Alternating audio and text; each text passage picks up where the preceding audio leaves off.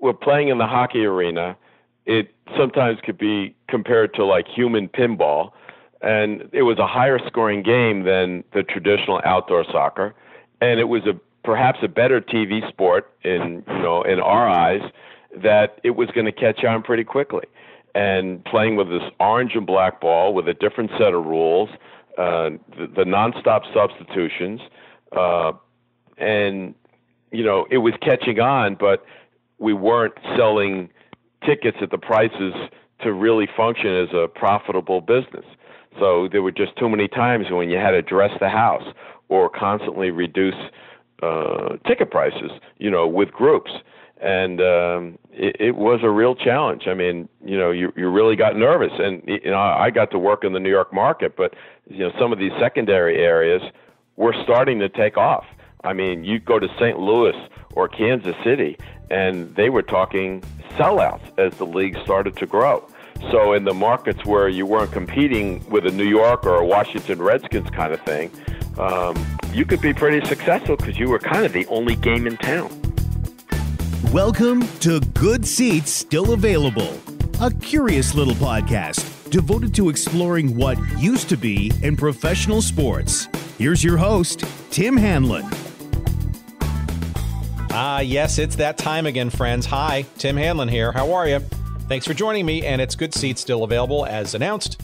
Uh, the curious little podcast that is devoted to what used to be in professional sports. We are uh, often uh, accused, and uh, and uh, rightly so, for spending quite a bit of time here on this podcast, at least in our early weeks, around professional soccer.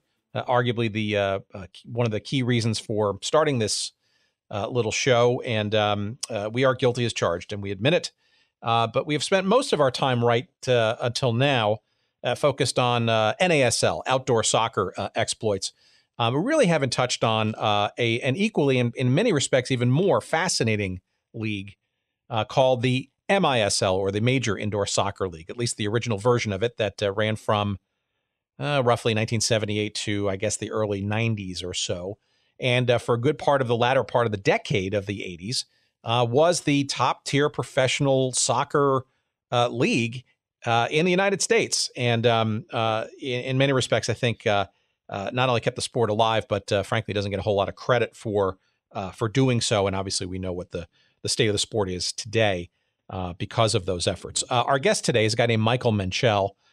who with PR and uh, operations management, general management uh, roles uh, in a whole bunch of uh, teams in the old MISL, had a front row seat to a lot of the uh, fun, the frivolity, the in some cases shenanigans around this um, very interesting and innovative and disruptive league. and from a fan's perspective, was just a a white hot comet, uh, not just in Kansas City, wink, wink, nod, nod, uh, of uh, of fun and uh, excitement and action. Uh, and it's uh, something we're going to start our MISL explorations with today with Michael in our conversation in a couple of seconds. I think if you remember teams like the New York Arrows, the Baltimore Blast, yeah, even if you remember the Hartford Hellions, um, this is the podcast for you. But we'll also uh, fear not. Uh, also, uh, touch on uh, some old NASL memories with the Colorado Caribous, that one year uh, wonder of 1978, where Michael got his uh, pro soccer start. And your football fans should stick around as well because Michael's journeys also took him after actually starting in the NFL. We'll talk about that with the Washington Redskins to the St. Louis Football Cardinals.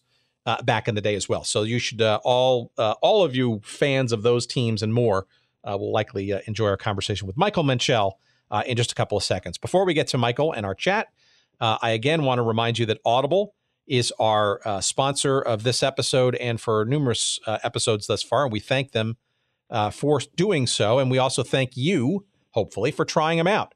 if you want a free audiobook download and a free 30 day trial of Audible's audiobook service, which you know has over 180,000 titles to choose from, uh, that being of the being the premier provider of digital audiobooks audible is um, that plays on just about any uh, device you can think of iphone or kindle or android or any other 500 plus devices um, audible is yours for the free trying at audibletrial.com slash good seats.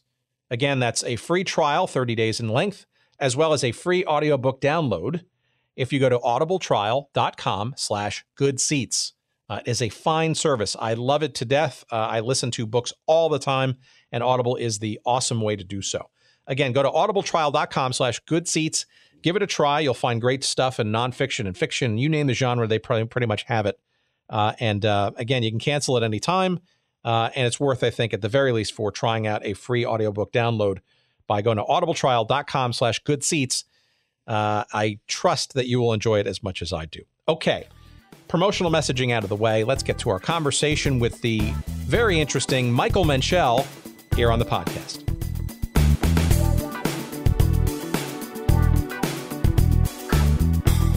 So maybe we can sort of start near the beginning. Um, uh, you, it seems to me that your first sort of uh, taste of uh, professional uh, soccer uh, heartache and joy uh, was in '78 with the Caribou of Colorado. Is that correct?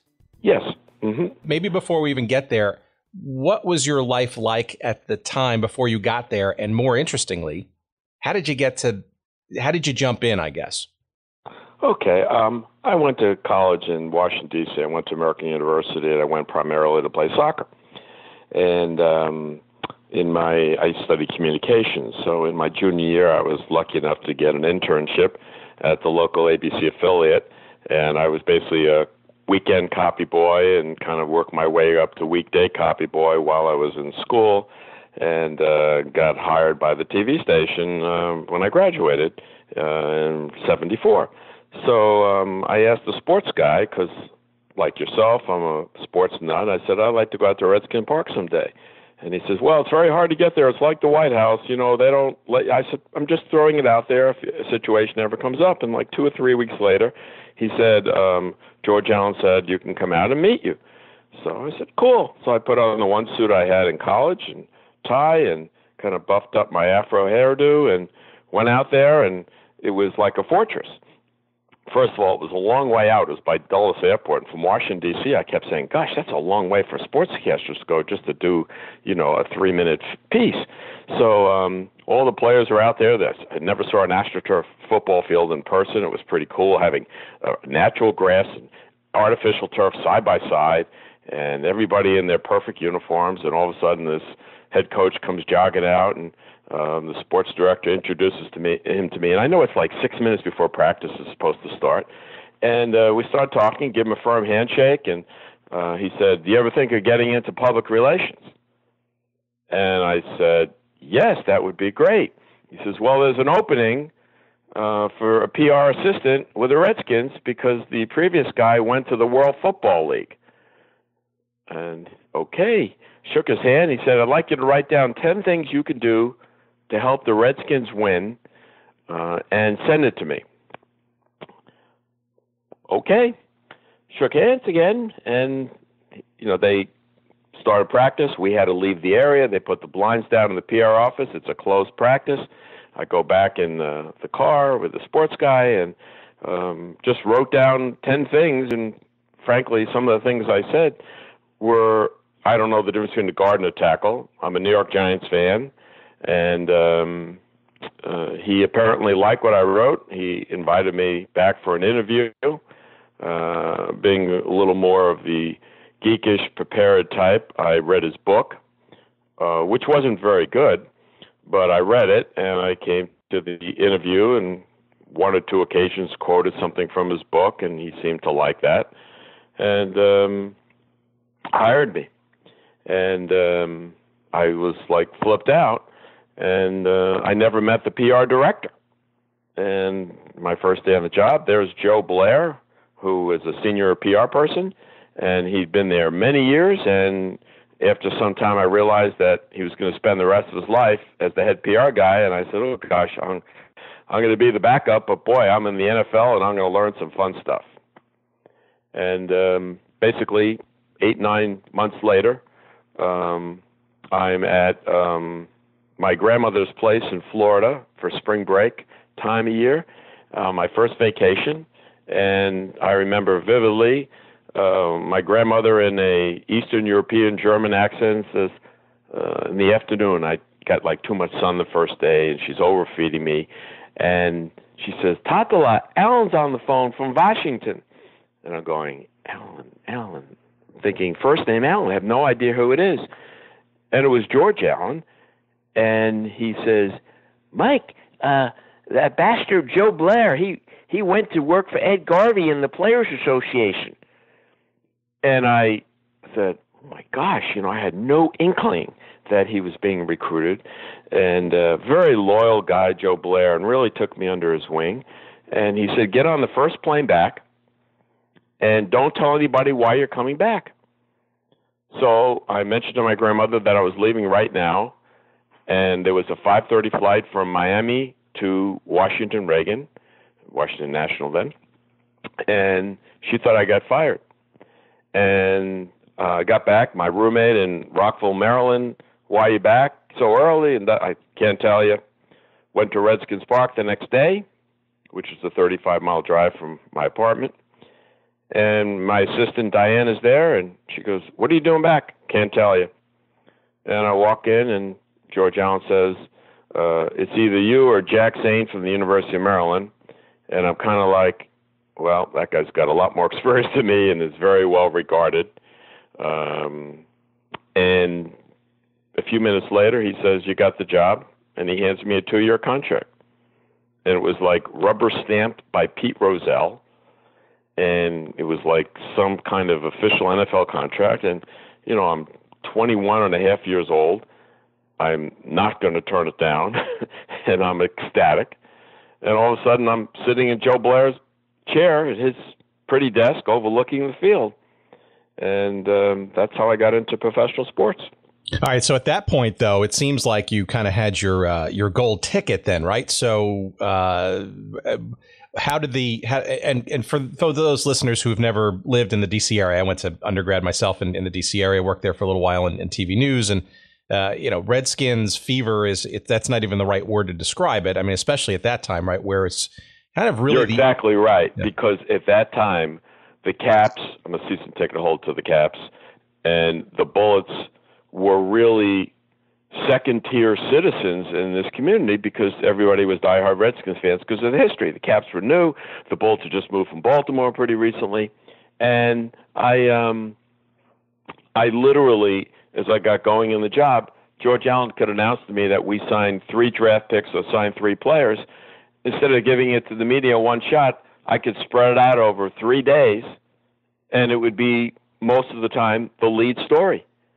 And, you know, unlike today's times, you really could have a lot to do with the way things were positioned and when it got out. And you did it when you wanted to do it and it was absolutely fabulous. I and I remember just going on my first trip as an advanced person. Um, I said, "Is this a mistake? This is a first class plane ticket." And she goes, "Oh, all department heads go first class." And I just freaked out. And I got to tell you something funny. We played the Cincinnati Bengals, so as a PR guy, I would go out on Tuesday for a Sunday game and I go to the Bengals training camp, uh, give a brief talk to the media, hand out videotapes. Really an exciting job. Hand out videotapes, give pictures to the two local daily newspapers, and maybe do a radio interview or meet with some radio people or set some things up. And I had a Bloody Mary because I was flying first class on this airplane in the morning.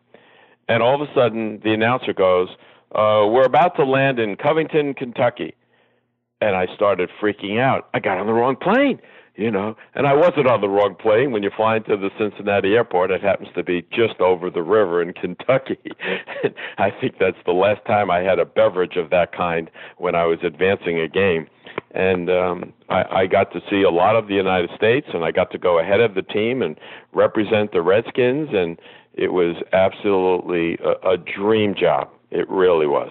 All right. So uh, give us uh, some insight then as to how you would uh, take that dream job and think that the uh, the dream would be even uh, further extended in uh, the fledgling sport of professional soccer circa 78 in Denver, Colorado, of all places. So um, I've always loved soccer, And as I said in my little thing with George Allen, that you know I didn't know a guard from a tackle, and, and working for the NFL, it's kind of a lifetime job. And um, I got approached by two men, uh, Dan Wood and uh, Dave. I forgot his last name. Uh, would this he be the coach, Dave Clements? Dave Clements. Yep. Yes, thank you.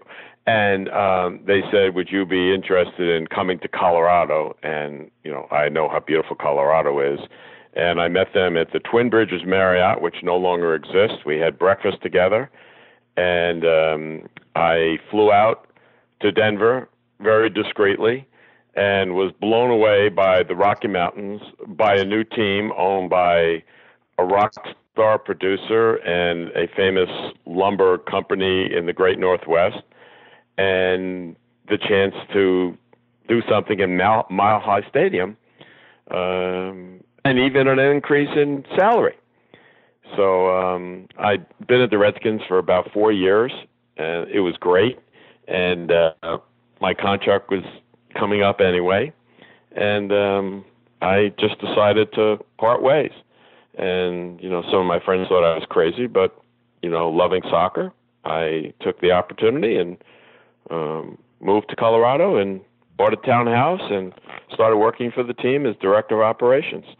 Um, the only problem was was a big one. The attendance was really hurting.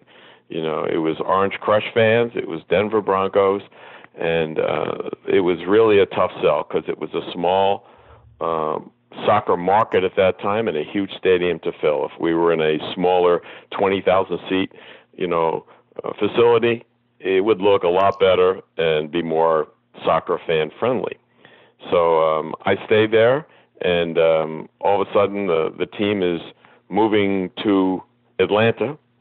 Uh, it was a purchase, and I was uh, engaged to a woman whose former lived in Atlanta, and she said she didn't want to go there. And I said okay, and uh, sold my townhouse. And um, a man named um, Bernie Roden called me up and said uh, they're starting this indoor soccer league, um, and we're going to get the New York franchise and can I hire you as a consultant to come to the first league meeting? I went to the league meeting, and there were six teams, six owners, and um, the, the the big name was Pete Rose, was uh, an owner of the Cincinnati Kids, and um, um, I was really intrigued by being part of a new league. And Earl Foreman was the commissioner, and even though uh, there were a lot of rookies in the room, it was exciting to be part of launching of a, a new league. And the uh, gentleman Bernie Roden introduced me to his partner John Luciani, and I uh, became general manager of the New York team.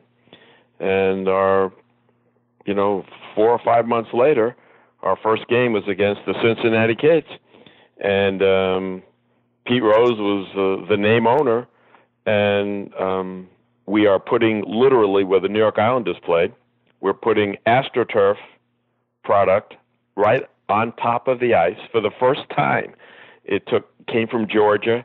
It was really a an 11th hour production getting this ready. And I remember walking on it saying, "Oh, it's so cold, and there's some seams here. Someone could get hurt." And just prior to that, uh, the Cincinnati team wanted one of our players, a guy named Mario Garcia, I believe, and um, they said, "What do you want for him?" And I said, "I'd like Pete Rose to kick out the first ball." And the general manager of the team said to me, "Is that all you want?" I said, "Yes." So he said, "Sure."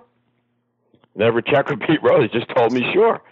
And um, the opening game in the history of the league was the. I have actually a framed picture of the. Uh, scoreboard at the end of the game of the Nassau Veterans Memorial Coliseum, where um, Pete Rose, who then was thinking of going to the Philadelphia Phillies, showed up in a private plane in a leather jacket, collared shirt, casual slacks, and he kicked out the first ball, this orange and black ball, and it got the media, including the New York Times, to come out to Uniondale, New York, to the opening game of this fledgling league. And uh, we unfortunately had to paper the house because even though Long Island was a hotbed of recreation soccer, the ticket sales just weren't there, despite you know decent amount of print advertising, and um, it looked like quite an event for the opening day. And my team won the game, and Pete Rose kicked out the first ball, and we had a bunch of nice media coverage. Uh, really, because of Pete Rose, not so much from the Arrows.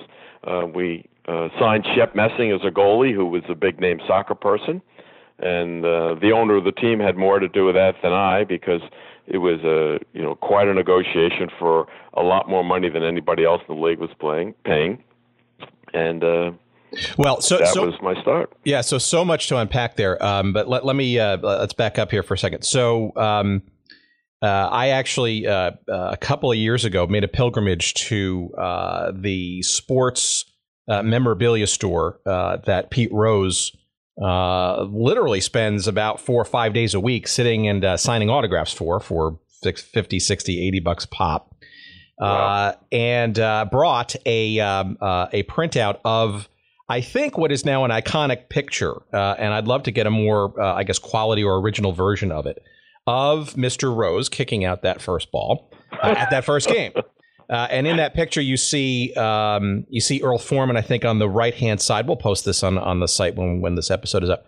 Uh, and on the left, I think um, John Luciani is uh, is clapping, and then there's the team sort of kind of in awe behind Rose, kind of, you know, like they can't believe that this is happening, kind of thing. And um, and, and I, I asked Rose about it. I said, you know, he was literally there was nobody there uh, the day I went. Uh, this was around a conference I was at, and uh, yeah. I said, I got something for you here, and I, I, showed him the picture, and he looked at it, and he kind of fuzzily, uh, and then he started to sort of pick out. Uh, he said soccer. He said uh, Cincinnati, right? And then I think he might have mentioned one or two of the names, like John Luciani, perhaps. Um, and uh, and then that was it. He really didn't. He didn't really sort of. He didn't regale me nearly with as much detail as you just did. Yes. Yeah. Unfortunately, I have a very good memory of all those minutia things from many years back, and you know it was just so exciting because it was the first game. And I remember some guy wrote an article. A guy named Don Marcus wrote an article for News Newsday, and he talked about my clammy hands, you know, because I was so nervous of something going wrong, of a player tripping on the artificial turf as the game started, or frankly, we we don't have enough turf to cover the hockey rink. You know, there was so many variables that you know you were nervous about. We we practiced at a high school gym in Queens, and um, it was you know quite an undertaking. You know, with foreign players and the domestic players, and you know visas, and I, I literally made more trips to immigration than you'd ever believe. Um, even the owner, uh, the there were two owners of the team, Bernie Roden and John Luciani, and uh, Bernie Roden um, uh, kind of was the one who recruited me, and John Luciani was the front and center, uh, high profile owner of the team, and all he wanted to do was win a championship at whatever cost it you know took. And you know we were able to sign a uh, a few n- talented foreign players that really helped us, uh, especially in that first season. Well, okay. So um, again, I'm going to back up a second. So uh, you're uh, the Caribou of Colorado, which, by the way, has its own sort of interesting stories, right? I mean, we kind of glossed over the whole uh, uh Jim Jaresh. Uh, how do you say Jimmy Guercio? Jimmy yeah. Right? So obviously, well-known uh, music producer. And if you ask the band Chicago about their feelings about him, they may have not some fond memories of his management yeah. of their career. Um, and apparently, the, I guess the Caribou Ranch, his uh, his studio was really the inspiration to uh, for the name of the team, right? That's correct. In fact, when I shared with you that um, I was engaged to this lady, um, he told me that I could have my honeymoon at the Caribou Ranch, and you know he had the players up there and and the front office, and it was just a fabulous retreat. Uh, maybe an hour from Denver, and it was just in the middle of nowhere. And the Chicago albums, many of them were produced right there, but it was a ongoing business where if you and I had a rock group and we wanted to cut an album, you would go there for a week or a month. And if you wanted lobster, if you wanted to go horseback riding, you wanted to get a certain movie back in those days, he took care of everything. His people had that place running, and it was really isolated from the rest of the world. And um, it was just kind of a, a special place. But he wanted to bring his Hollywood friends to Mile High Stadium. I remember um, a couple times he brought some actors, and the fact that Mile High Stadium was not filled up and he's in the owner's box, he was perturbed about it. And, you know, it created some tension.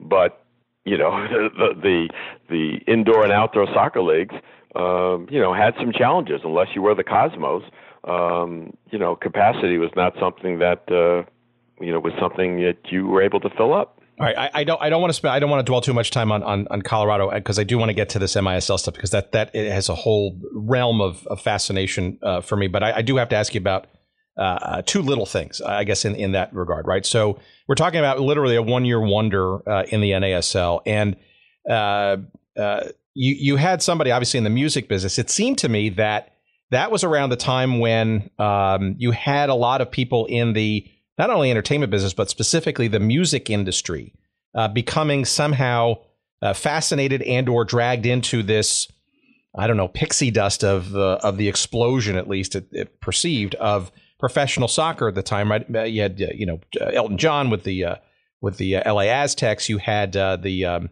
consortium there in in Philadelphia with the Fury.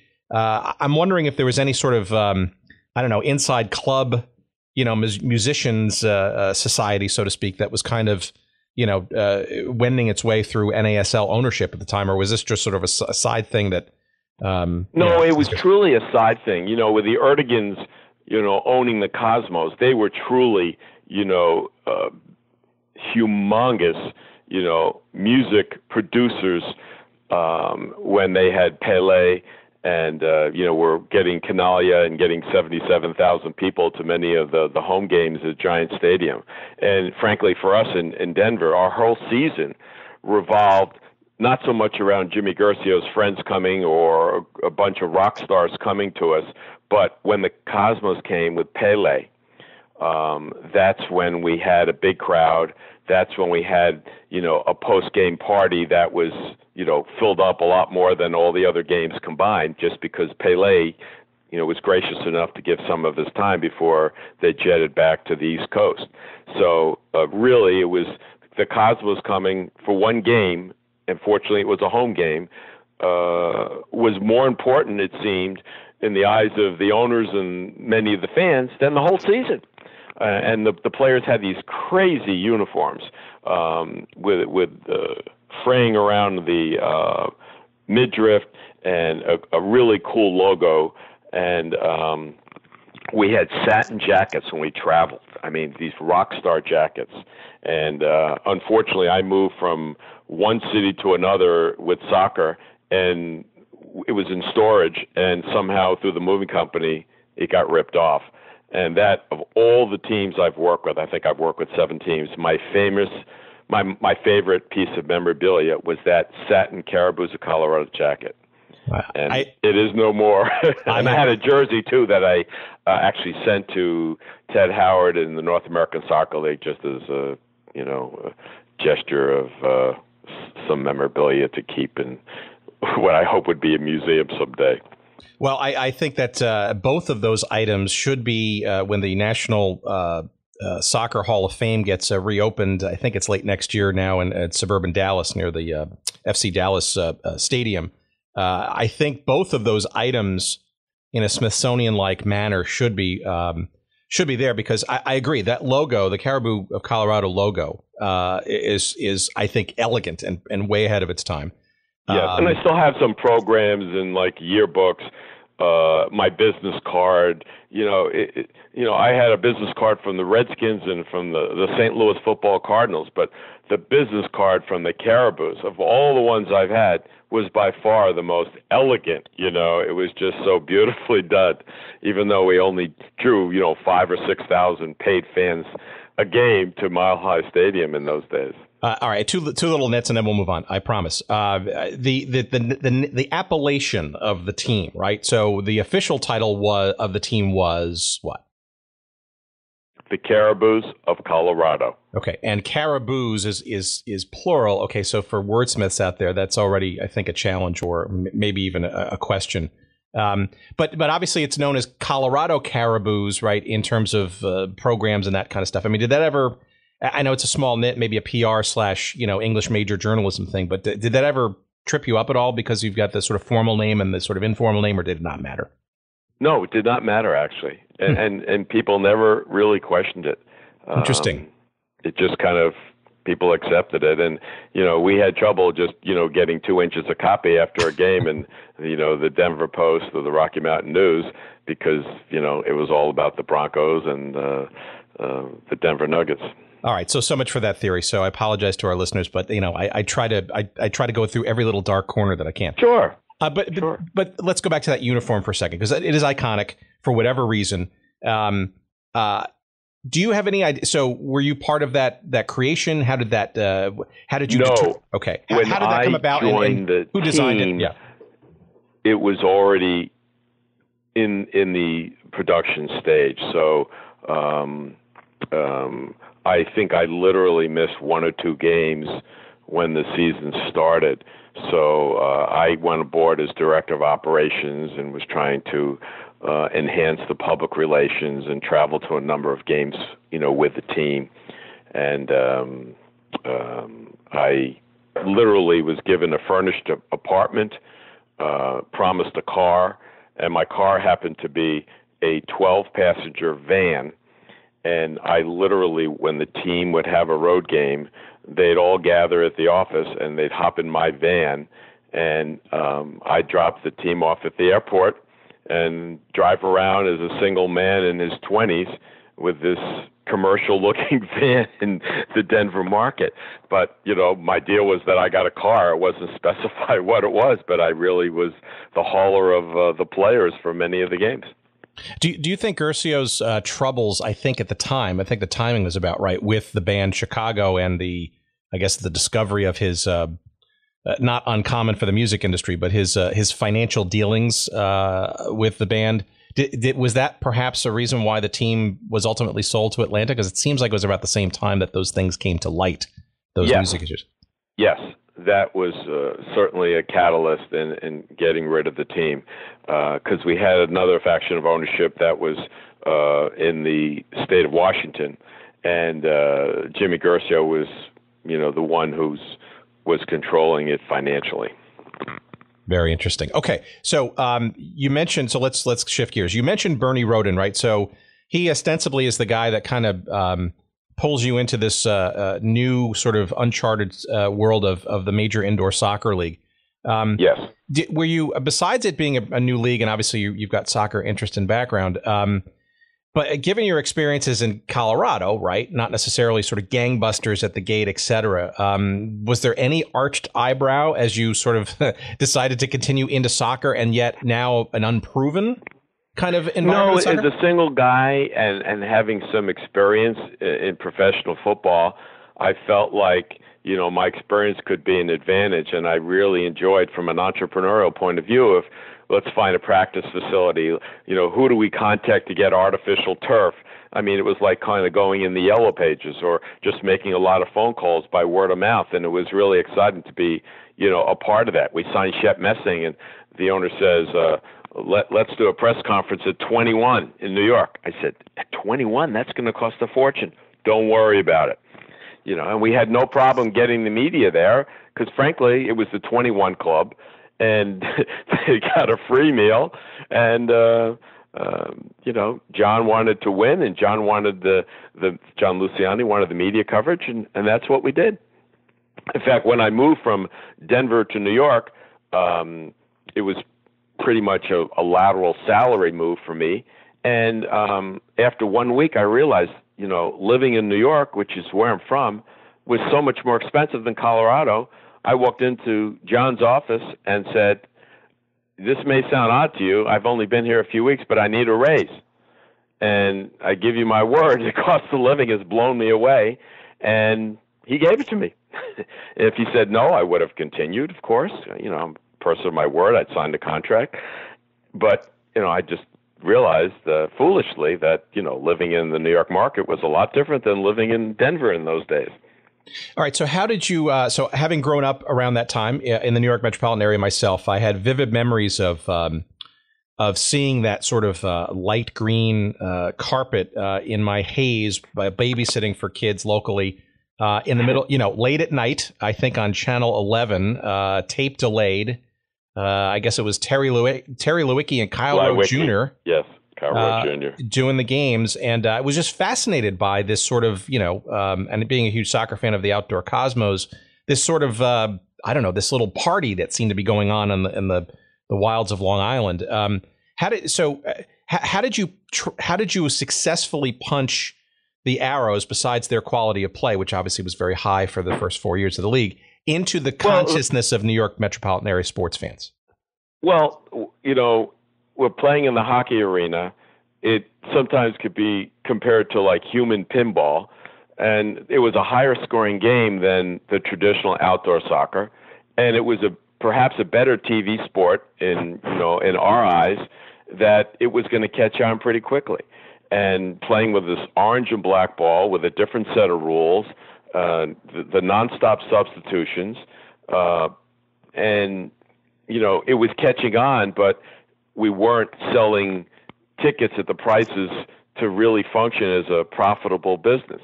So there were just too many times when you had to dress the house or constantly reduce uh, ticket prices, you know, with groups and um, it, it was a real challenge. I mean, you know, you you really got nervous, and you know, I got to work in the New York market, but you know, some of these secondary areas were starting to take off. I mean, you go to St. Louis or Kansas City, and they were talking sellouts as the league started to grow. So in the markets where you weren't competing with a New York or a Washington Redskins kind of thing, um, you could be pretty successful because you were kind of the only game in town.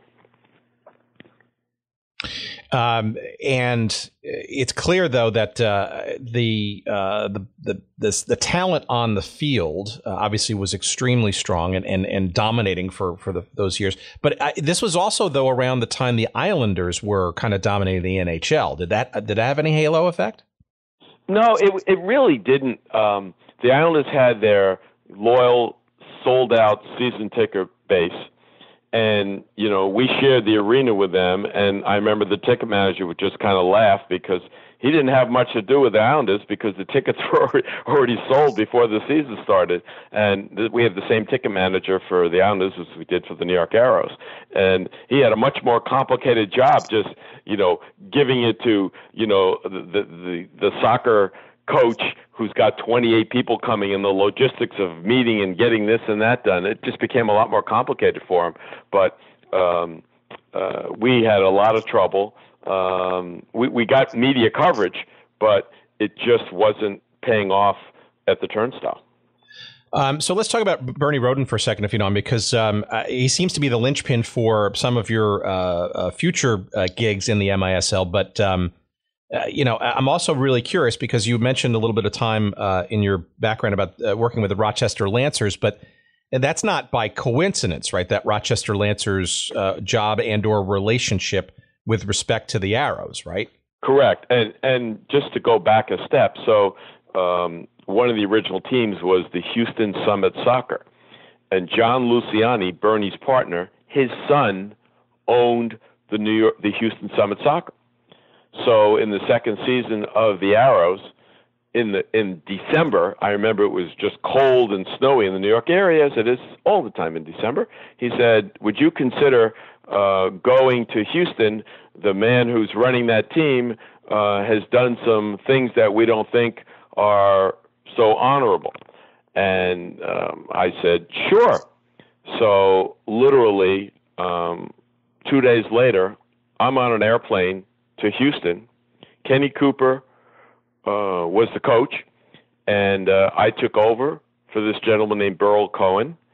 And um, literally, they had someone drive my car down and gave me a furnished apartment, and I started working with Houston Summit Soccer with Kenny Cooper. and um, we had a, a very successful team on the field. But again, um, the joke around the Houston market was the three teams in town, the three sports that are most popular are high school soccer, college, uh, high school football, college football, and pro football. So soccer was really uh, way, way back there.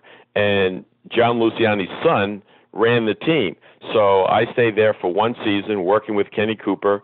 We won our division. We were runner-ups to the New York Arrows in the championship game, and it was very awkward for me. And you know, walking around as a general manager, you know, I'd work for the other team and you know sign many of the players that were on the opposing team. But you know, here I was wearing my Houston outfit, if you will, you know, hoping to topple them for the championship. All right, so I, and yeah, I, I, was at that championship game, as a matter of fact, in New York. Oh, you were? Yeah, strangely. Um, but so then, can... so then Bernie said to me, um, in his New York accent, "Hey, kid, uh, you know we have a, a an ownership in the Rochester Lancers of the North American Soccer League. Now that the indoor season's over, would you consider coming up to Rochester and be the general manager of the team?"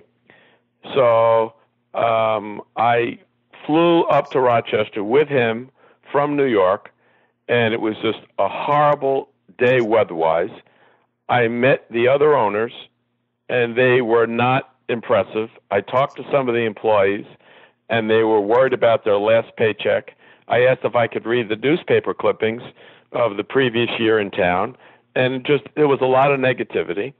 And I said, um, um, I, they asked me to sit in this other room, and they had their board meeting, and they came out, congratulations uh, you're the general manager. We voted you in, unanimously.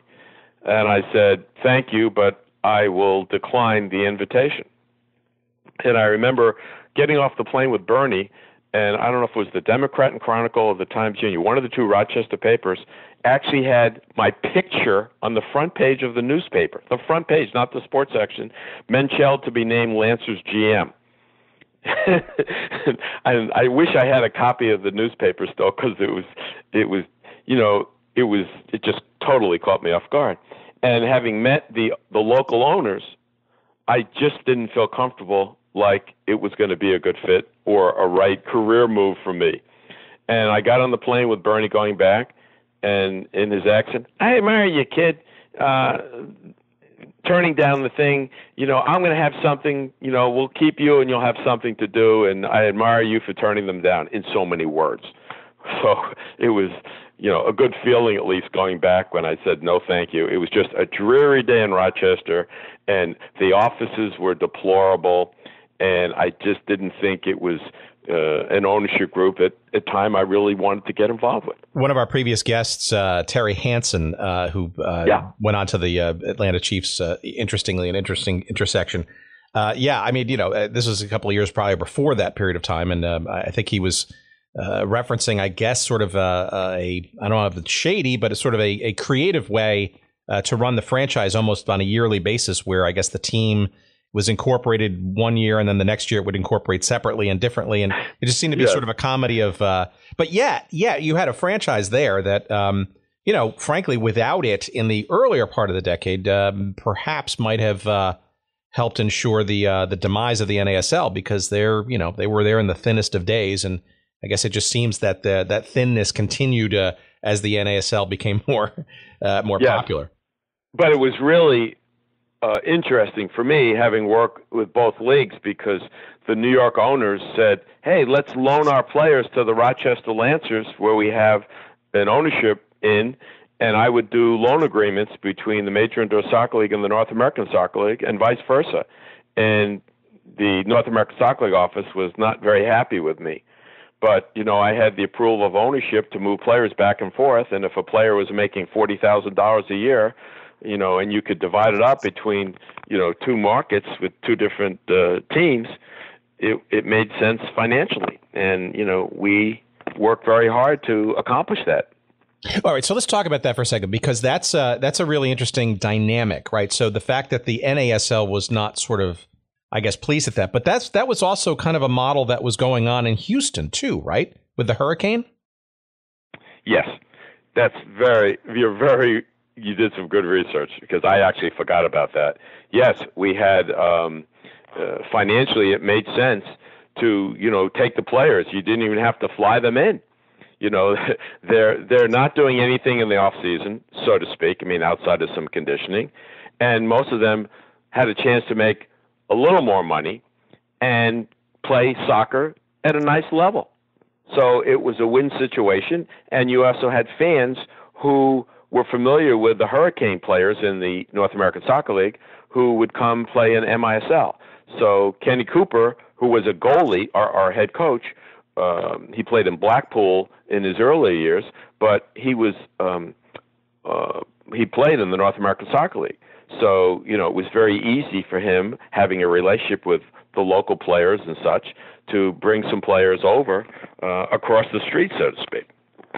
And we were very successful in terms of wins and losses not as successful in terms of attendance. yeah, that, in Houston in particular, on, on, both sides of the aisle, it seemed. Um, yeah. Okay, so but the so I just one last point on this. So the NASL not necessarily enamored with this sort of I guess shared player kind of uh, agreement. What about the MISL uh, management? Were they kind of okay with it? Yes, yes, they were fine because they wanted to upgrade the level of soccer this helped keep costs down for the the owners that started the league. So it made a lot of sense. And the arrangement that the commissioner and deputy commissioner had, I don't know if you're aware of it, was that they were going to get uh, a franchise for free, each of them. If the league continued to grow, and let's say a franchise was worth $2 million, they could sell it to a group like yours in Chicago and take the $2 million and put it in their pocket, or move to Chicago and be the ownership group of the team. Each of them was, as a reward for starting the league and putting everything together, was entitled to one franchise each.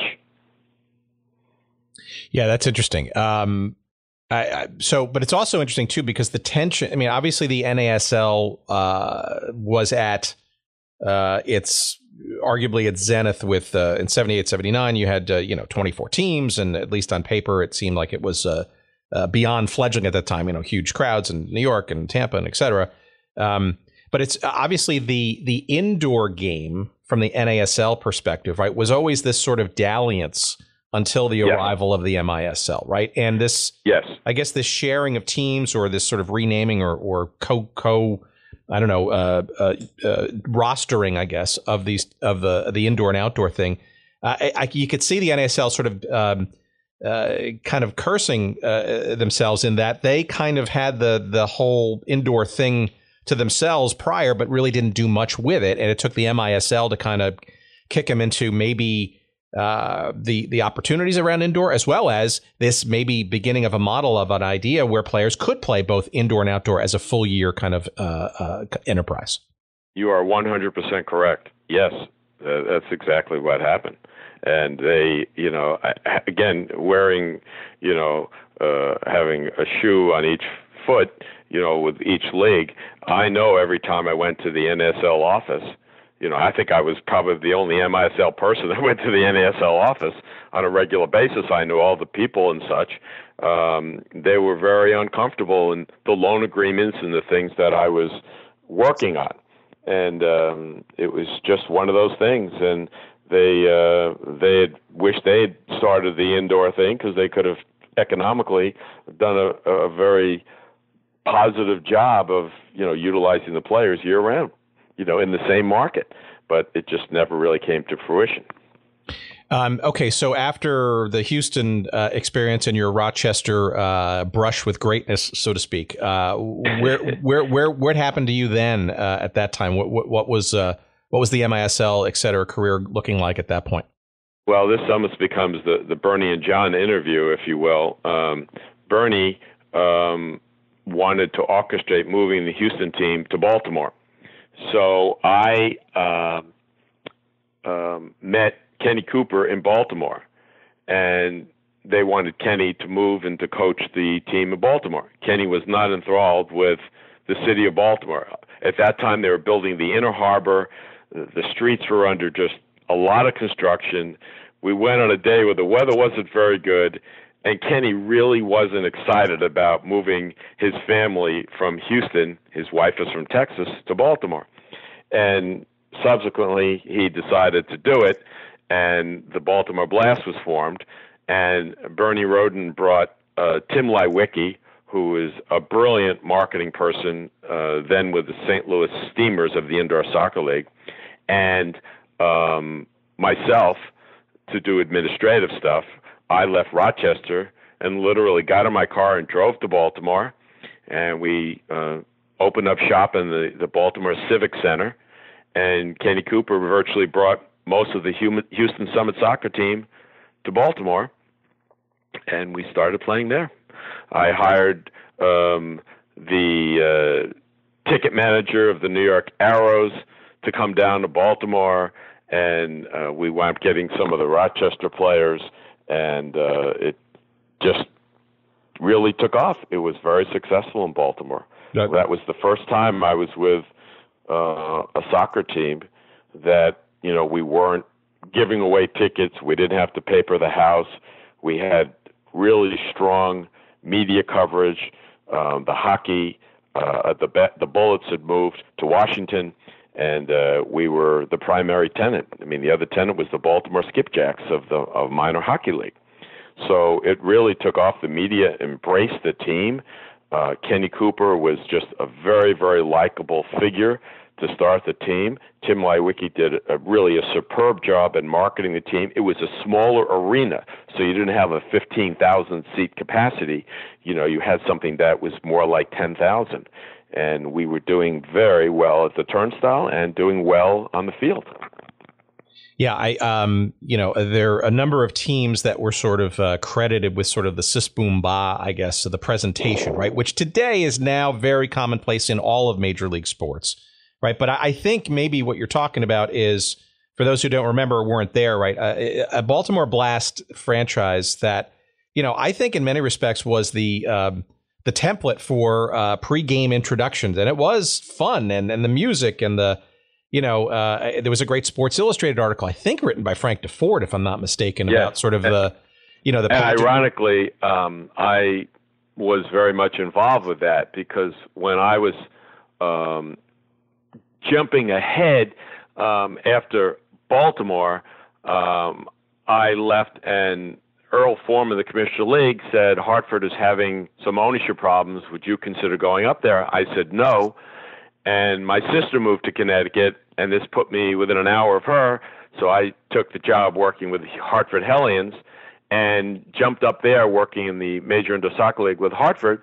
And um, uh, after one season, the team was sold to a group in Memphis, and I elected not to go.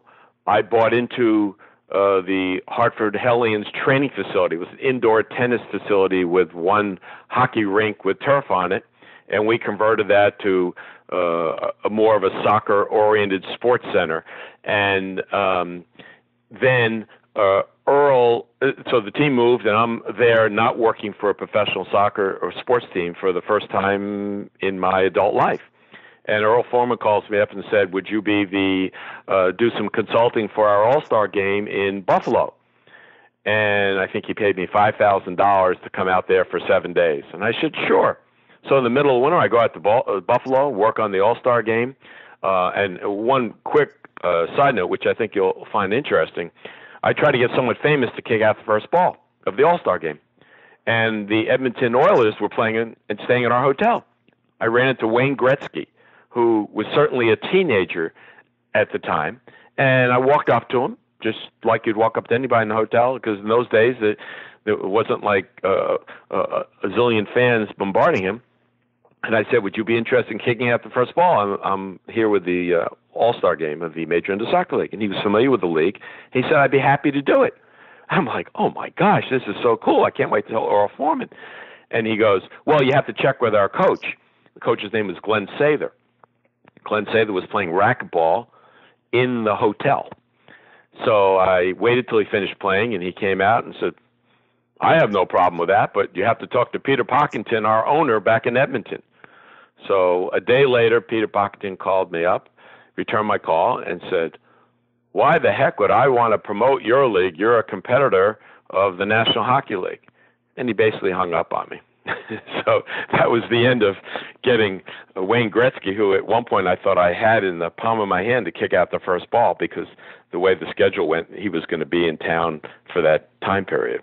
Right. So anyway, I go back to my indoor facility in, in Hartford, where I'm doing this entrepreneurial thing of converting it to uh, two soccer fields, and um, uh, Earl calls me up, Earl Foreman, and said, "Would you be interested in being the PR guy for the uh, Major Indoor Soccer League?" And it was uh, the office was in Philly, and Earl lived in Potomac, Maryland, which was kind of unique dynamics. So I met him at his home in Potomac, his home office, and he said, uh, "We're moving the league office to New York or Washington in the next three to six months. So we'll put your stuff in storage." And um, um, I said, "Okay." we agreed on a salary figure, and I moved to Bala Cynwyd, and we never moved the league office. So I spent two years living, working for the Indoor Soccer League in Philadelphia, and I lived in Earl Foreman's apartment. It was a furnished league apartment, and Earl came like once or twice a month, and he stayed in the master bedroom, and I had this furnished place to myself, totally at no cost.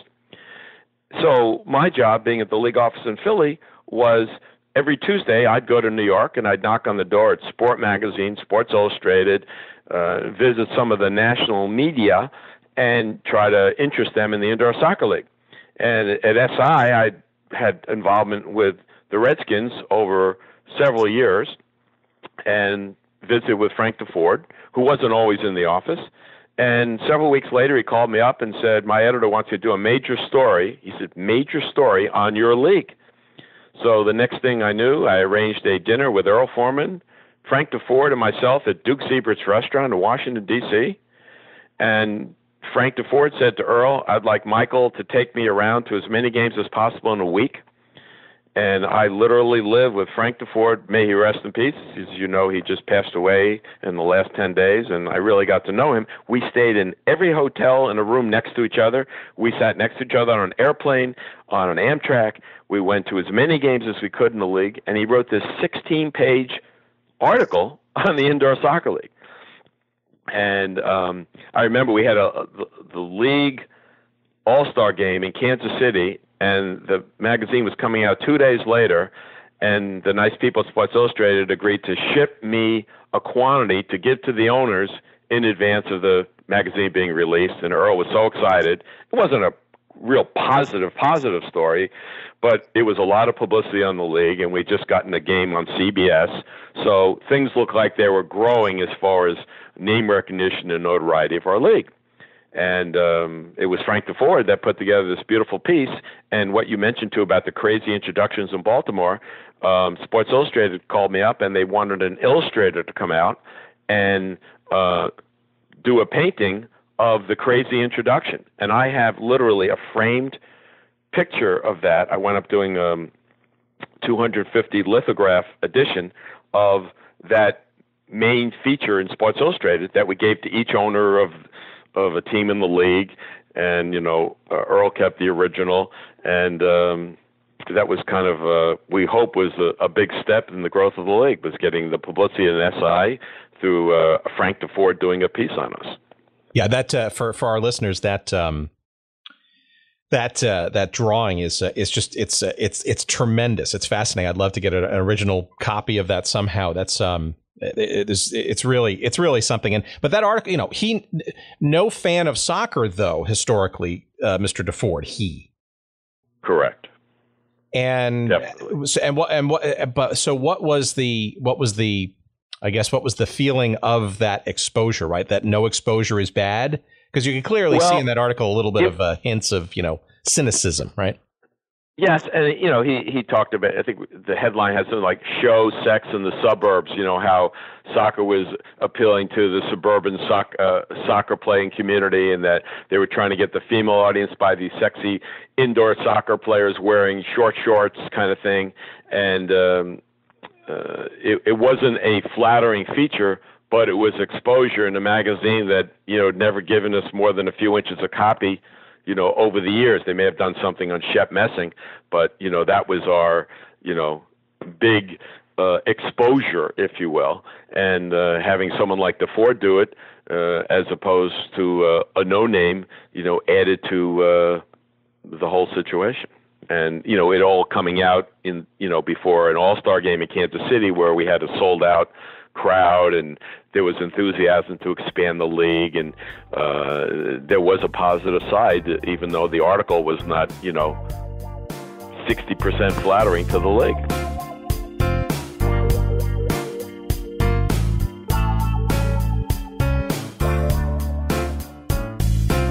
Okay, friends, sorry for the interruption. Just wanted to quickly remind you that today's episode of Good Seats Still Available is brought to you by our friends at Audible, the premier provider of digital audiobooks with over 180,000 titles to choose from in just about every genre you could think of.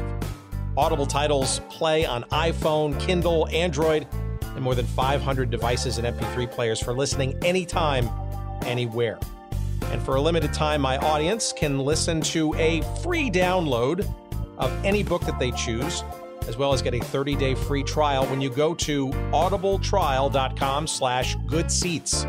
That's audibletrial.com slash good seats. And you can choose from over 180,000 titles, as we said, including uh, one that I'm listening to right now. It's called The 10 Gallon War by John Eisenberg. That's the story of the NFL's Cowboys, the AFL's Texans, and the feud for Dallas's pro football future. Um, another one on my list, which I have yet to download but is on my queue, uh, that could be interesting to our audience here is called the National Forgotten League by Dan Daly, entertaining stories and observations from pro football's first 50 years. Those are just two of the many thousands of titles to choose from, and not just in sports history, but you name the genre that uh, you might want to listen to, and Audible's got it. By the way, two uh, two guests perhaps that we'll have on the show, hopefully sometime soon. But again, go to audibletrial.com slash good seats for your free 30-day trial as well as your free audiobook download to try it out for yourself. Again, that's audibletrial.com slash good seats. And now, back to our conversation.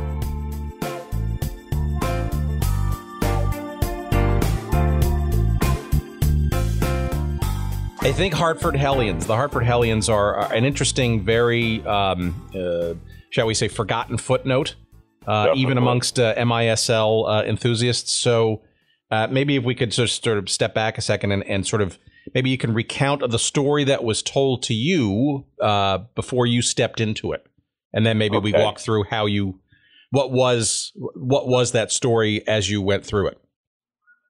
Yeah, so I, would worked for the Baltimore Blast, and my job as a vice president of administration was to compliment Tim Leiweke, who was just a marketing whiz, and he put the bodies in the seats and really generated tremendous enthusiasm. And I used some of my PR background with the radio, TV, and newspaper to really get people excited. And the media was looking for something that would, you know, grab them in Baltimore. And after two years, um, I um, was pretty content with what had happened and uh, Earl Foreman, who I'd always had a nice relationship with, was telling me about Hartford. And at first, I wasn't enthusiastic about going up there um, because the franchise was going through bumpy times, and the owner, Bill Chipman, uh, had a reputation of uh, having some financial woes and not really having a background that was familiar with the sport. So um, I agreed to go up there and meet with him and uh, he was a pleasant fellow. Uh, I knew about his background, and um, the league office told me uh, they would uh, back me financially should there be any problems, and that was all I needed. And my sister had just moved to uh, within 45 minutes of where I would be based in Hartford and I, I only have one sibling, so I wanted to be close to her. So as much as I didn't like winters in the northeast part of the United States, you know, I became a part of the organization. And I remember going to the first game, and someone said to me, "Do you want a grinder?" And I said, "Excuse me." I had no idea, you know, a grinder was a sub, a hero, a hoagie in that part of the world. And they, we had a nice front office, uh, but we had a lot of bumps because uh, Chipman had financial issues and um, I now, actually wound up staying in a uh, nice townhouse with a garage that he owned, and I lived there for something like a year. Uh, never paid a penny rent, so financially it was worth it for me personally to be up there. Um, now, I'm sorry. Was this this was uh, did this was this after the first season that you came in, sort of the beginning of the second season of the Hellions? Yes. Okay. Yes. Yes. And um, they were doing okay in the one loss record. Uh, it wasn't one of the top tier teams, and it wasn't one of the the losing teams. And there was an enthusiastic front office, which made me enjoy going to work every day. And John Kowalski, you know, the coach was someone I had known for a number of years. He had coached uh, previously in Pittsburgh for um, uh, I forgot the name of the family. They uh, this would be the Pittsburgh Spirit franchise. Yes, yes. Oh, that would be the the DeBartolos. No, DeBartolo. Yeah, yeah.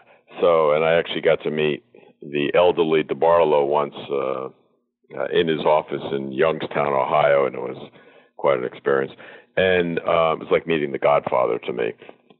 And um, I really enjoyed working with John Kowalski, um, and uh, we had a nice indoor facility. And um, then when Chipman was having trouble, continued financially, uh, a group from Memphis said uh, they would buy the team, and um, I was enthusiastic about it. Um, I uh, had met a woman who is now my wife of 32 years, and um, um, didn't feel like leaving and had an opportunity to buy into the training facility uh, as my first investment as a solo entrepreneur. So I went full steam with, ahead with that because the, the group in Memphis um, just didn't seem like they were my cup of tea. I didn't think it was going to be a good fit.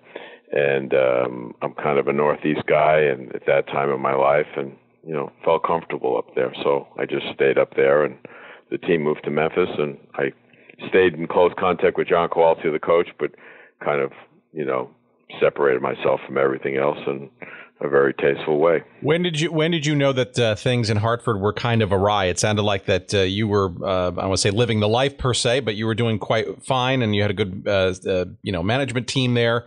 But um, you know, uh, from from what I've read you know, Chipman was, you know, quite the the creative tax person when it came to some of these tax shelters that he was sort of doing separately from the team, and um, a couple of bounce checks here and there. You know, sort of the the traditional path of of questionable dealings, as we see in in a lot of these conversations around teams and leagues that don't exist anymore.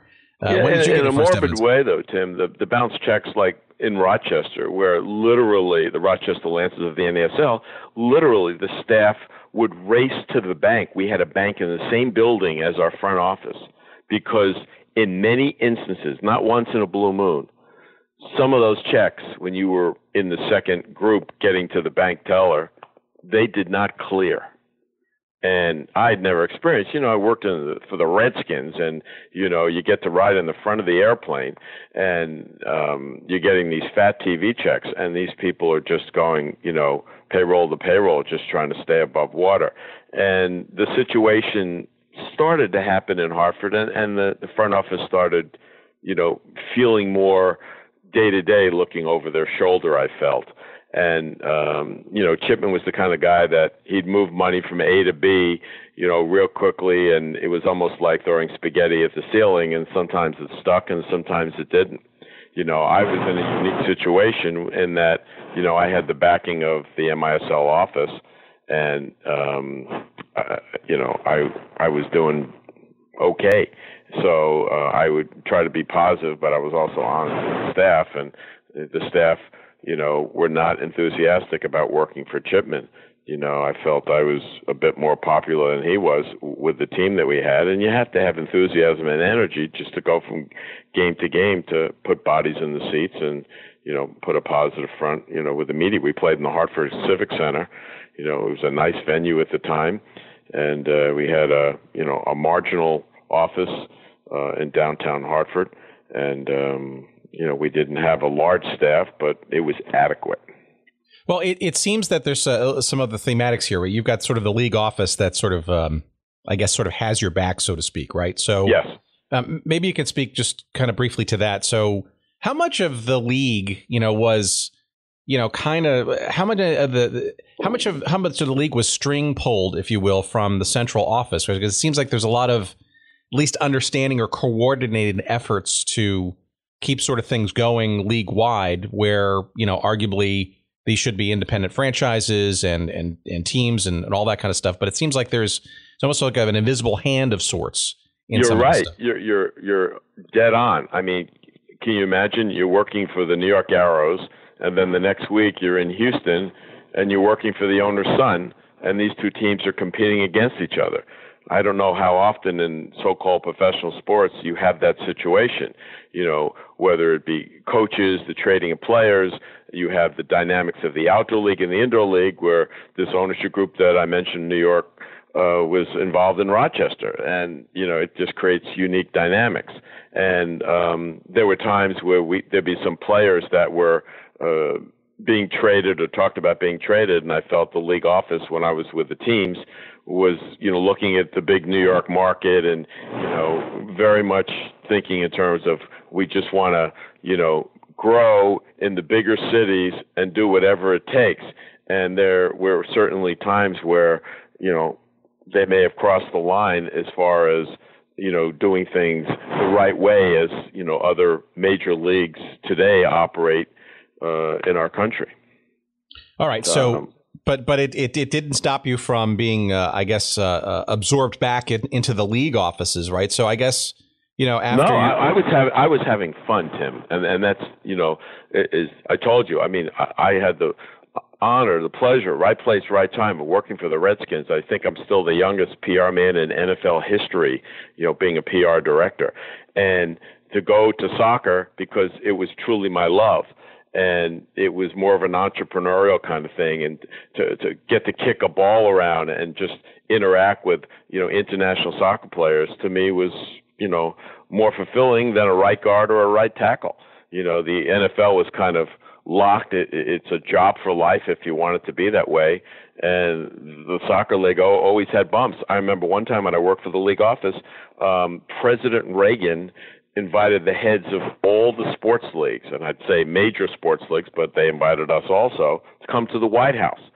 And I couldn't, uh, I wound up coming representing the league because Earl Foreman was working on getting a new expansion team. The deputy commissioner, Charlie Avranian, was in Phoenix um, bailing out a team about to go bankrupt. And the two of them, as much as they wanted to have a presence at the White House with the NFL commissioner and the baseball commissioner. So the PR guy, you know, much further down the totem pole, you know, I went to the White House and I had lunch with Ron and Nancy Reagan, you know, and I have all these pretty pictures of it in my room here. And um, just because it was a constant thing of being um, reactive uh, to you know owners just having financial problems and part, trying to replace this franchise in another city. And if one owner had the financial wherewithal, who owned one team, as in the case of the New York Arrows, you know legally his son owned the Houston team, but you know then you had John still owning the Arrows. Even though he and Bernie were partners involved in the team, then Bernie had the Baltimore Blast as his toy, as his team and um, it was really interesting because you know you're talking to John Luciani, he'll ask you a question, and in a way, he has his hand in the running of three teams. Yeah, that's that's fascinating. So okay, so you're but you're in the league now. So so I think it's really important. I mean, the fact that you're at the White House is is indicative, right? There are there were teams, I think the Steamers for sure, and maybe some others that were, if I remember this sort of the the articles and the and the the calculations correctly, there were at least one, if not more, MISL teams that were outdrawing uh, some of the uh, laggards in both the NHL and the NBA. I yes. think, right? And the two teams would be the St. Louis Steamers and the Kansas City Comets. Oh my gosh! You know, I told you Frank Deford. You know, I had that memorable week w- with him, and we went right from St. Louis you know, had Stan Musial as one of the owners of the team. So I had dinner with Stan Musial and Ben Kerner and another gentleman, and then we go to the old Checker Dome with that Old organ, and you got a full house, the crazy fans, and as you mentioned, the lavish introductions, which Tim Leiweke orchestrated. Then he moved to Baltimore and then topped it even there. His older brother, Tracy Leiweke, also a real savvy marketing individual. He ran the Kansas City team, and um, um, these guys were just the reason the, the league uh, had the notor- the good notoriety that it did. Those couple of franchises, they kept the league average attendance high enough. You know, we had a team in Wichita, and that did fine because there was no other professional game in town. And when I would, as a league office PR guy, um, based in Bala Cynwyd, right outside Philly, I would spend most weekends during the season taking the train to New York, going to an Arrows game, or gathering tapes literally that night or sunrise the next morning and driving to ABC, NBC, and CBS networks in New York, knocking on doors and more or less begging the weekend person to put some of this footage of this good TV sport on their feeds to all their affiliates throughout the country. So if you're in Wichita, a second tier market certainly, but the MISL was very popular, you could um, get footage of other games right off the network feed and run it on your evening sports, and that really, you know, drew attention um, to the fans. That they got real excited by that, and the coverage in a Wichita newspaper compared to you know the New York Times was was quite a bit different in the smaller market for obvious reasons. But you were able to incorporate the whole league through video footage. You know, you know this team's coming to town next week, and you had footage of their game yesterday from the network feed. So it, it's kind of minor league, but that was my job, and I and I was always so excited when you know someone would tell me, "Oh yeah, they ran the footage of you know the Philadelphia Fever against the Wichita Wings," and uh, and once in a while ran on a market um, that didn't have a team that was considering a team because the sports director was looking for something, and you had you know three goals scored in 47 seconds, and it just became part of your highlight reel. So let's talk about tele- excuse me television for a second because obviously you know we know today how instrumental television is and I, arguably I think it was just just as instrumental instrumental if not even more so then you know in the early 80s mid 80s when you had um, you know much more uh, limited uh, viewing options but cable was becoming this thriving thing and um, you know to to the league's credit you know had uh, this uh, game of the week on the USA cable network, network right and um, uh, for many people that was the sort of persistent exposure.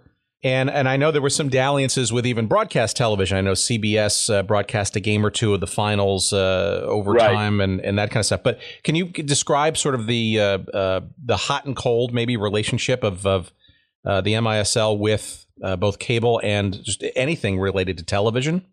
Yes, um, Earl Foreman, our commissioner, developed a relationship with Kay Koplovitz, who was the head of the USA Network, and um, they struck a deal to do more or less a game of the week. And we had Al Trautwig, who was a, a good announcer, doing the games, who loved soccer, and um, it had kind of a following. And you had the, uh, you know, the fans in Baltimore and St. Louis and Wichita, you know, really getting decent ratings because their fans just wanted to see MISL soccer, even if their own home team was not playing in it. And that went on for for a couple of years.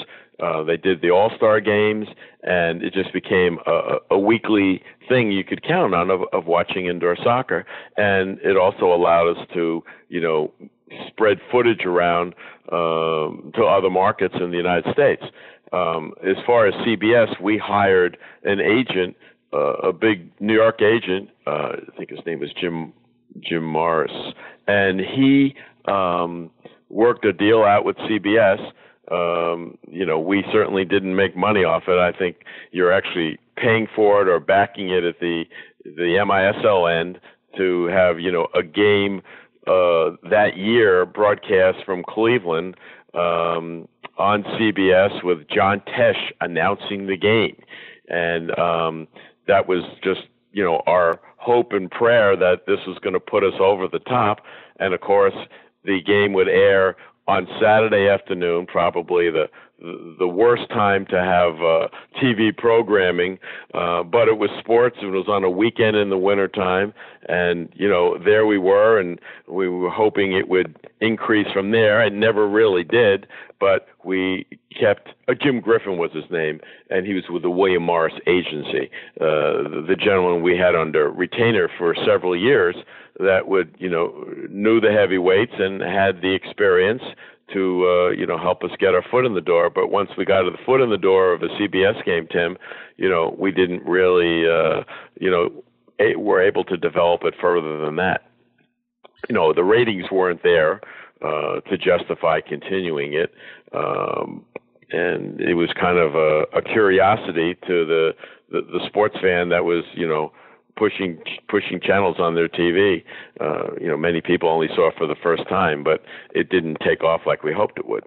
I um, I actually uh, uh, uh, met uh, Kay Koplovitz a couple of times in my uh, my professional life in, in media, and um, oh, uh, she has uh, some interesting, and I'd like to get her on at some point to, to talk more specifically about because because in many respects the MISL and, and sort of sports became kind of a linchpin in the early days of cable uh, to kind of separate a USA Network t- from some of the other sort of startup uh, TV channels. But I, she did regale me, and I, I, need to get more detailed with her about the uh, the specifics as to why of some, shall we say, relative, uh, rather contentious conversations with Earl. Uh, in terms of uh, renegotiating or renewing contracts and whatnot, and um, I got the sense from Kay that he was uh, quite the uh, uh, intense negotiator when it came down to uh, certain aspects of getting television coverage. Yeah. I mean, Earl was a tough cookie, and he is a very shrewd negotiator. And but I'll tell you something: when you're you've got a unique situation, which we talked about earlier, Tim, where you know he and Eddie Tepper, the deputy commissioner, you know, had a con- contract contractual situation where they could get a franchise whenever they wanted, year two, year 17, and they would get that at no cost to them. So, um, you know, getting on TV and getting franchises in the right market, you know, if I was the owner of the Cincinnati Kids, I'd be pretty happy uh, with that arrangement because it was certainly an incentive for the two men that were starting this fledgling league to grow it quickly and efficiently and without any immediate cost back to them. And um, uh, I think the deputy commissioner had a team in New Jersey uh, for a season, and uh, Earl never wound up um, getting a franchise, to the best of my knowledge. Yeah. So uh, as a uh, and okay, we'll, we'll, we'll let this sort of be the sort of last tar- uh, point on the MISL. Uh, as you're talking to maybe one of the handful of season ticket holders to the New Jersey Rockets for their less than full season. uh, so uh, Ed Tepper, and indeed, uh, you know, it's just, just interesting, given what you said earlier uh, about where uh, the teams are located and and the challenges of the arrows on the uh, on the on Long Island, attendance wise, that Ed Tepper getting and taking advantage of his franchise arrangement from the league would choose Northern New Jersey as the place to put that franchise. Yes, Yep. I think he lived, you know, in the Philadelphia area, so it may have been beneficial to him as far as being a part of, you know, starting the organization the right way that he wanted to operate it, you know, near him. But you're certainly oversaturating, you know, a market. You could find a Wichita or a Baltimore market, and with with with a Leiweke type uh, front office team, you know, I think that would be a more realistic thing to grow as opposed to, you know, putting um, another team, you know, in the New York metropolitan area. That was also around the time that the Cosmos actually took indoor soccer seriously, and the NASL did too. And it was just a whole. I mean, that there was there was an interesting. I mean, uh, it'll be interesting about twenty people, but that year, uh, that indoor year was uh, uh, just uh, nirvana for uh, indoor soccer fans like myself in northern New Jersey. You had both the NASL and the MISL uh, uh, having uh, two teams going on. You had a you had a game almost every other night there in the Brendan Byrne Arena. It was great. wow. Nobody was nobody was there, but it was it was Right. fun. It was fun to watch, except for people like myself.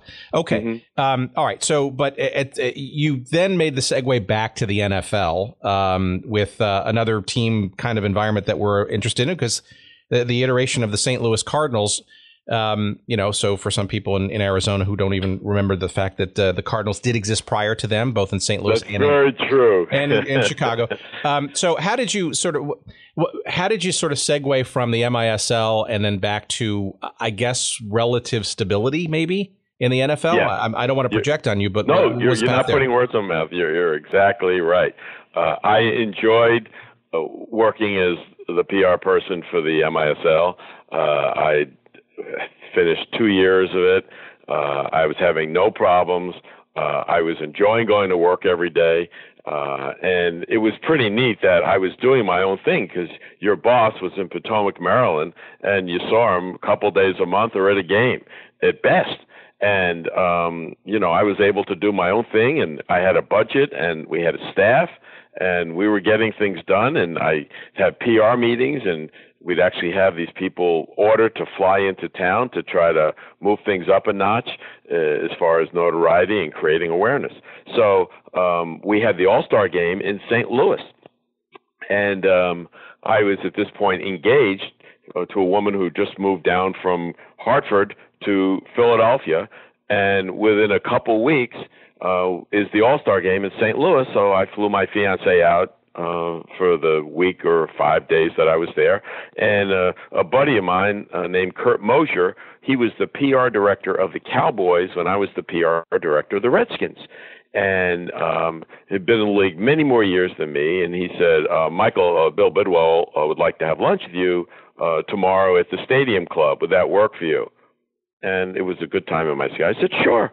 So um, I, it, it'd be nice to see him. I, I when I advanced games because I was in the same division, the Redskins and the Cardinals. I always had one trip to St. Louis, and St. Louis always came to Redskin land, and I always made a point of seeing him and talking with him, and had a nice relationship with him. And he had a reputation, um, perhaps in the uh, '80s, of being a very frugal man, running you know, the organization, and they had some mediocrity except for the Don Coryell years, the Cardiac Cardinals. So I have lunch with him, and he said, uh, I remember he had a bow tie on. We're in the Stadium Club, and he said, uh, "There's a couple of PR openings in the NFL. Uh, would you be interested in leaving the indoor soccer league?" And my initial reaction was, "I'm getting married." Uh, to your point, Tim, you know, there's some humongous security in being back in the NFL, and I kept thinking of San Diego. I think the San Diego job is open. So I said yes. So uh, a few minutes later, he says, "Well, I'm looking for a PR guy here in St. Louis." And um, I didn't realize that Kevin Byrne had left. Kevin Byrne has uh, been with the Baltimore Ravens since their inception, and is a friend of mine. And um, we sat down and talked, and uh, he offered me just a terrific opportunity. And I said, let me talk to my fiance. And um, she was kind of like, where's St. Louis on the map? You know, she uh, she's a real New Englander. So um, I uh, signed a two-year contract, and I um, uh, left the indoor soccer league, and uh, it was you know worth my while financially and the security of getting married because the league, the MISL, was doing satisfactory, satisfactorily, and but the NFL was doing terrific. So, you know, thinking as a family man for once and not as a, an entrepreneur, happy to move from one market to the other as a single guy, um, I jumped on it and went to the Cardinals. I mean, since I left college, I've been in nine states with different sports teams. And um, you know, I figured, well, this will be a, a permanent arrangement, and from every little thing to helping me with the financing of my house and giving me a bonus for signing and paying airfare to my wedding, my best friend's wedding. I mean, this Bill Bidwell was just being so generous to me. Instead of putting me in a hotel, he put me in a suite in downtown St. Louis, and it was just one thing after the other, and we really hit it off. And uh, I was very happy there.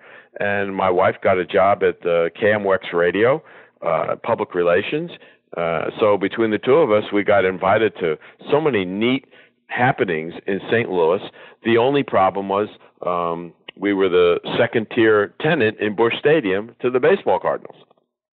Um, and um, my first year, we came within a hair of making the playoffs, and uh, I really, you know, enjoyed working there, and I could see myself staying there for for many many years. Were the uh, were the seeds of a move from St. Louis uh, being sown that you could tell at that time? Yes, in my second year, it was uh, Jacksonville or Phoenix, and um, uh, it you know created a lot of tension. And uh, I was fine moving because I felt like I'd have a job for life and could start a family and have the comfort of you know working for the same organization and building equity. And um, my wife wanted nothing to do with Phoenix. She's a New Englander. And I said, "What about Jacksonville? You know, if we go there?" And she was like, "You know, I don't know. You know." I said, "Well, it's warm weather," and she uh, wasn't enthusiastic about it. And um, uh, ironically, the um, uh, Cardinals were in the World Series my second year, and uh, a dear friend of mine from D.C. who just started a speakers bureau, the Washington Speakers Bureau, uh, called me up and says, I, "I know you don't have tickets for the World Series tomorrow night, but I'd love to take my dad." And I said, "Well, actually, I have four seats to every game, and you can have my seats." So he flew out with his dad, came to the uh, the World Series game, stayed in my uh, townhouse, and um, the next day he asked me, "Hey, would you be interested in joining the Speakers Bureau?" I said, "No, I'm very happy here. I have a two-year contract." He went back, and as my two-year contract was up, I'm prepared to renew. I've got an excellent relationship with Bill Bidwell. You know, we're kind of a 500 team, but we're in a good division. I'm enjoying the camaraderie with with the other cities and the PR directors who were still there from when I worked for the Redskins in the 70s. So for me, it was kind of a coming home. And I got on the Super Bowl detail, which meant I got to go to the Super Bowl every year for 10 days, working with the media, and it was just a really cool situation for me and the off seasons are not as intense as they are now and it wasn't a 24/7 job like you know being a PR director of a team is with you know with the 24/7 nature of sports and I was very very um comfortable and I'm at the Super Bowl in New Orleans and I get um a wine and cheese basket uh, from these two men, Harry and Bernie, uh, and said, "We'd like you to fly to Washington. We'd like to talk to you about joining the Speakers Bureau." So I said, fine. I said to Carolyn, you know, I'll go visit my friends, and my wife's name is Carolyn, and um, very happy in St. Louis. Was sure, you know, Bill Bidwell would keep me on for as long as I wanted to do. We were making some headway media-wise, and uh, all of a sudden they made me a financial offer. Um, I said, well, let me check with my wife. I um, went upstairs, called her up, and she said, absolutely, that's close to New England. You know, let's do it. And um, you know, to her, the the uh, only salt water. She's a, a, a beach person. The only salt water in St. Louis was the uh, saline solution in contact lenses because the Mississippi River didn't suffice as an ocean to her, even though many people in the Midwest, to them, it, it was their Atlantic or Pacific Ocean. So we, um, uh, I sat down with Bill Bidwell and he, he was very gracious and he said, you know, is there anything I can do to keep you here? And I said, uh, no, I've I've made the decision. You know, I want to start this thing, and I got very lucky and um, became part of a very successful lecture agency, and uh, that was the end of sports for me. Um, the only connection was I was booking, you know, sports speakers uh, to do events for corporations and trade associations. So it was a little bit of a continuation of public relations with, uh, you know, athletes and coaches and broadcast people. All right. So as we wind it down, did you? Uh, so uh, I, I got to think that uh, you're you're leaving sort of the pro sports sort of excitement and electricity and, and entrepreneurialism, especially on the soccer side. There was a bit of maybe a, a wistful kind of uh, did you ever miss any of that sort of excitement as you became a bit more shall we say stable uh, career wise um, or you know were you was it a period of time that you kind of knew that was kind of done and then you needed to move forward well, I had relationships with the NFL from from the 70s, and I really kept in touch. And every time, you know, I had my MISL trips to New York every Tuesday. I'd take the Metroliner to New York and knock on the doors you know, I would visit the NFL office like every three trips, and say hi to the people and stay in touch and they actually help me you know with sport magazine and you know i just talked to so and so and he'll meet with you next trip to new york and you know so i i kept the communication there. And um i got to do instant replay.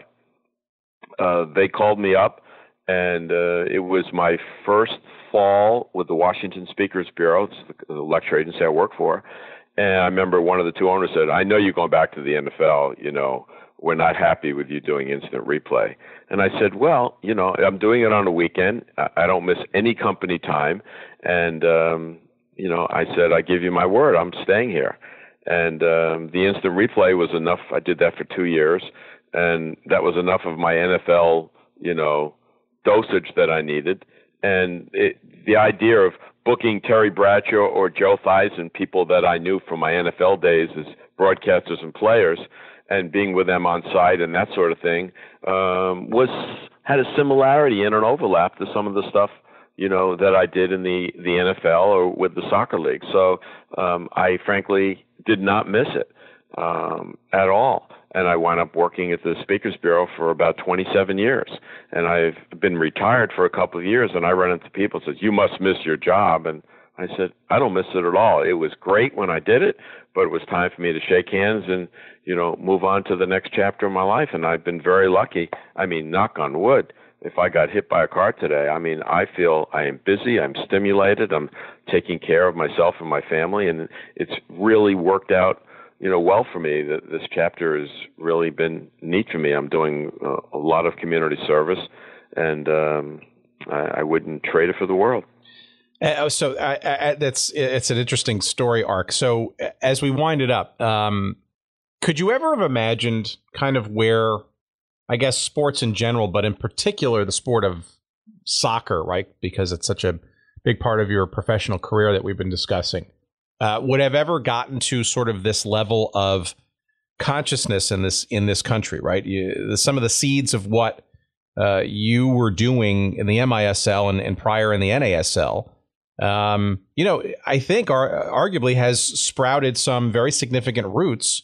Uh, maybe not in direct ways, but certainly uh, you have a sport that is is uh, flourishing uh, on many levels uh, here in the United States, where you know it was much more pioneering back in the seventies and eighties, and frankly, a lot less certain that it was even going to take root. I I had no idea that it could come this far. And I think back when I played soccer at American University, if you said to me that uh, you know, the, the word of mouth of the, the sport of soccer, male, female. My daughter is a professional soccer player, and you know she's played all over the world.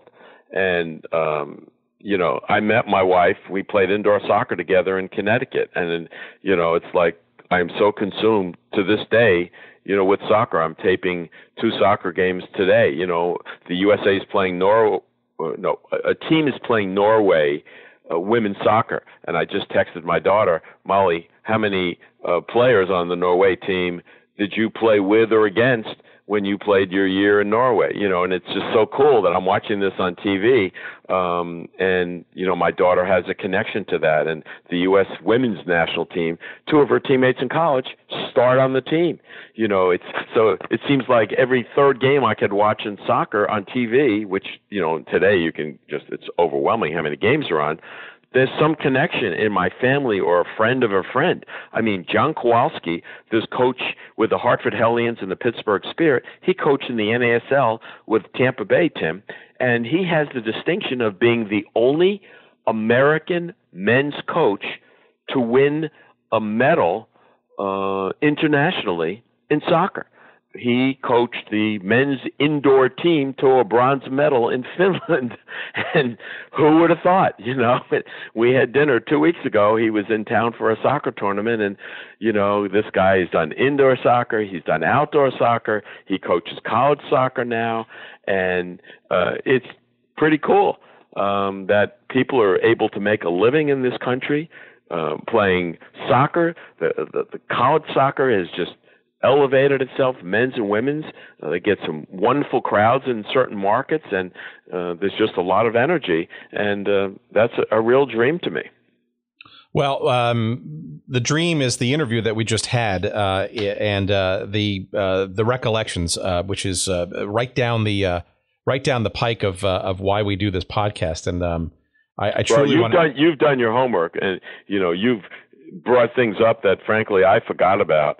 And uh, you know I, I, appreciate you know you giving me the time um, doing the interview and just kind of reminiscing on some of the things that happened. And I've tried to be very candid and uh, in things that I experienced, and you know, um, uh, I look back on the stuff that, w- with a smile on my face, and you know, I've got a few pictures. I, I wish you were at my home. Look at some of these pictures. You would just smile and laugh, and all, I have business cards of every team I was with, and it's a pretty fat collection of business cards and media guides and stuff. But you know, great memories.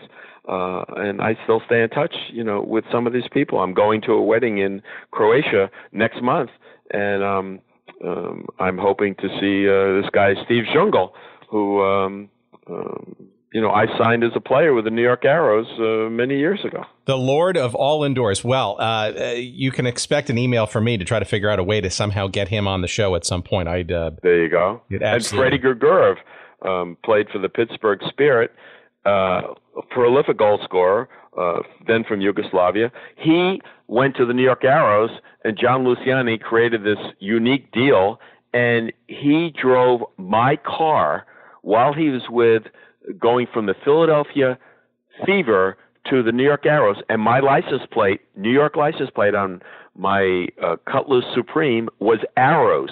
That was my license plate, and Freddie Grgurev drove my car. John Luciani um, gave him my car, and you know worked a deal with me financially. Steve Zungul lived in my furnished apartment in North Shore Towers in in Floral Park, New York. And you know, I'm down in Houston working for that team, and I get this phone call. Um, it's Freddie Grgurev. His real name is Ferdo, and his last name is spelled G R G U R E V. He goes, Mike, this is Freddie. I effed up your car. I said, What'd you do, Freddie? He says, No oil. he never changed the oil. The car had no oil, and it was a lot of money in damages. And he goes, Don't worry, John will pay for everything. I remember the phone call like it was last month. And it was here I am working for the Houston soccer team. This guy is leaving the fever, going to the arrows, you know, driving my car, um, and you know, the other players living in my apartment. You know, Bernie and John just managed to, you know, work everything out between Rochester, Baltimore, New York, and Houston. And it was sometimes a comedy of errors, but you know, they ran them as separate businesses and took it very seriously and you know, a lot of fun was had by all. And this is why we do this show because those those stories are are, are just tremendous and, and should not be lost to history. We know where Freddie lives because uh, not personally, uh, but we, we've been to his restaurant a couple of times in the in the Upper yes. West Side of Manhattan, and uh, and Fred will definitely be uh, on our short list, and and I I look forward Good. to regaling him with that story and getting his side of the story. No, it'll be the same side, I'm telling you. And and just what he way he called me and told me what happened, it's exactly the way it played out. And what a nice guy, you know, as is uh, Slavisa Zungul, you know, also known as Steve Zungul and Branko Segota and stuff. It was it was great bringing these guys in. And and to digress back a little bit, Tim, Bernie owned Bernie Rodin owned some apartment buildings in Brooklyn. So we brought all these players in from Canada and the former Yugoslavia and everywhere we could find everybody. They all stayed at Bernie's apartment building, you know, and uh there was like a shuttle service to an elementary school we had as a practice facility and Don Popovic was the coach and um, a very volatile guy. Well, he coached the indoor team with the New York Arrows and he coached outdoor in Rochester. So you have this back and forth dynamics also, where he had the same players in the Nassau Veterans Memorial Coliseum as he did at Holleder Stadium in Rochester, New York. I, you can't you can't make this stuff up, and that's uh, and I appreciate uh, tremendously your uh, your your your crystal clear memories of all this stuff, and uh, I look forward to um, keeping in touch. And I, you know, uh, tremendously uh, thank you for uh, spending a, a, great deal of time with us to well, kind of thank you for nostalgia. having me. I enjoyed talking to you. Michael Menchel, thank you so much. Look forward to staying in touch.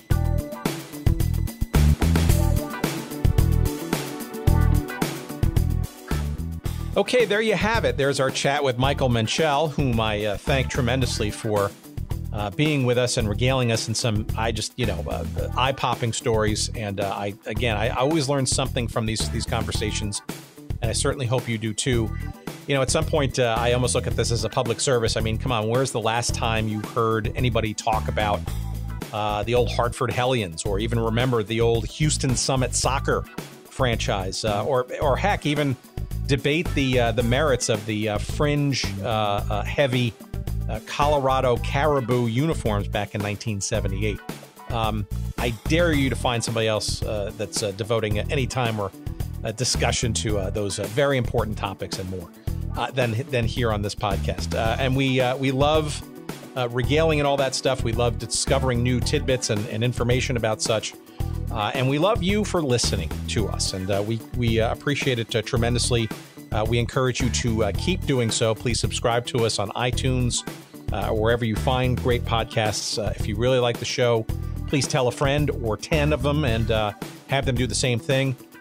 show some love for us on social media, of course. Please on Twitter. That's at Good Seats Still. you'll find us on Instagram at Good Seats Still Available. You will find a face face no Facebook that's it. Facebook. That's what the kids call it today. Uh, page devoted to the show. And uh, if all else fails, uh, you can always go to our website for, uh, you know, all the information that you need about the show. An old old episode. Uh, you want to find a book or a, a, video or some other thing that we mentioned on the show. That's the place to find it. Is our website, and that is goodseatsstillavailable.com. Uh, visit there early and often, and uh, there's lots of fun stuff to do uh, we will get an email list uh, e- newsletter going at some point soon. Uh, you can sign up for that too, all that kind of stuff. Uh. All right, I am babbled out, and uh, I appreciate you listening this far in this show. We look forward to seeing you soon. And until then, take care, everybody.